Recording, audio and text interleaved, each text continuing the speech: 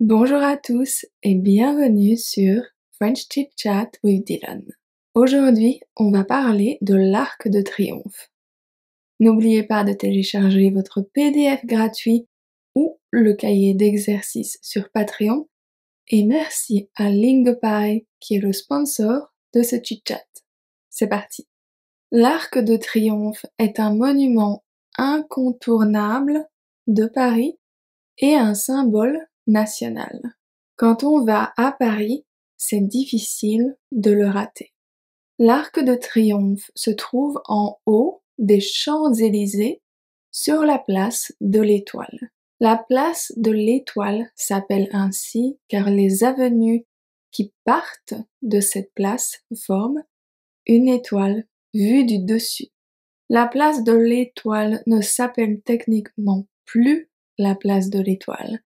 Elle a été rebaptisée en 1970 la place Charles de Gaulle. Mais revenons à l'Arc de Triomphe et parlons un peu de son histoire. Sa construction a commencé en 1806 sur l'ordre de l'empereur Napoléon Ier et s'est achevée en 1836 sous le règne de Louis-Philippe. Napoléon Ier n'a jamais vu le résultat final car il est décédé en 1821. L'arc de triomphe fait presque 50 mètres de haut, 45 mètres de large et 23 mètres de profondeur. La hauteur de la grande voûte est d'un peu plus de 29 mètres. La petite voûte fait plus ou moins 19 mètres de haut. Mais pourquoi un arc de triomphe? Napoléon Ier voulait un monument qui perpétuerait le souvenir des victoires des armées françaises. Son idée était que les troupes marcheraient sous l'arc de triomphe à leur retour. L'arc de triomphe, c'est un monument historique, évidemment, mais c'est devenu un monument encore plus historique depuis son inauguration. Le 28 janvier 1921, le corps du soldat inconnu tué lors de la Première Guerre mondiale y a été enterré. Deux ans plus tard, une flamme du souvenir y a été installée. Elle commémore le souvenir des soldats morts au combat. Elle ne s'éteint jamais.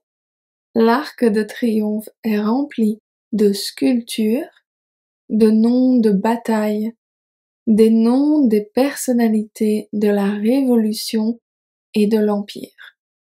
La sculpture la plus célèbre est la Marseillaise. Si vous voulez un jour visiter l'Arc de Triomphe, il y a beaucoup à voir. La vue du dessus, quand il fait noir, donc sur la terrasse, c'est simplement la cerise sur le gâteau. Vous pouvez voir une vue panoramique sur Paris. Au niveau du coût, visiter l'Arc de Triomphe n'est pas gratuit pour les adultes. Cela coûte 13 euros par personne, ce qui est assez raisonnable quelques chiffres et anecdotes à propos de l'Arc de Triomphe. L'Arc de Triomphe se trouve au milieu d'un rond-point. Six fois par an, le soleil se couche dans l'axe des Champs-Élysées et donc dans la voûte de l'arc. Cela se passe les 7, 8, 9 mai et les 3, 4 et 5 août. L'Arc de Triomphe a été le point de départ de la première étape du Tour de France en 1903. Mais c'est toujours le point d'arrivée. Un peu plus d'un million de personnes visitent l'Arc de Triomphe chaque année. Alors dites-moi, est-ce que vous avez déjà visité l'Arc de Triomphe? Est-ce que vous aimeriez le visiter? Dites-moi tout en commentaire.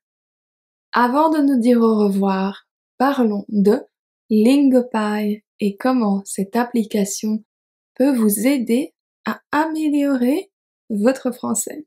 Lingopie offre un énorme catalogue de films, de séries télévisées et de documentaires. Mais Lingopie, c'est bien plus que ça. Lingopie, c'est les sous-titres interactifs. Vous pouvez cliquer sur un mot, écouter sa prononciation, découvrir quel type de mot c'est et réviser à la fin. Lingopie marche même sur Netflix. Plus vous regardez, plus vous apprenez. Cliquez sur le lien dans la description pour essayer Lingopie gratuitement pendant 7 jours et pour recevoir 70% de réduction sur l'abonnement à vie. Merci encore à Lingopie d'être le sponsor de ce chit-chat. J'espère que ce chit-chat vous a plu. Je vous retrouverai vendredi prochain pour un nouveau chit-chat. À vendredi prochain.